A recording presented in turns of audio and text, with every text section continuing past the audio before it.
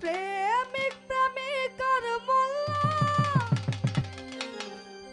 জগতে নাই তারি তুল্য। যে বুঝে না এই মোল্লা, কেন যে গেলে? হাইরে বা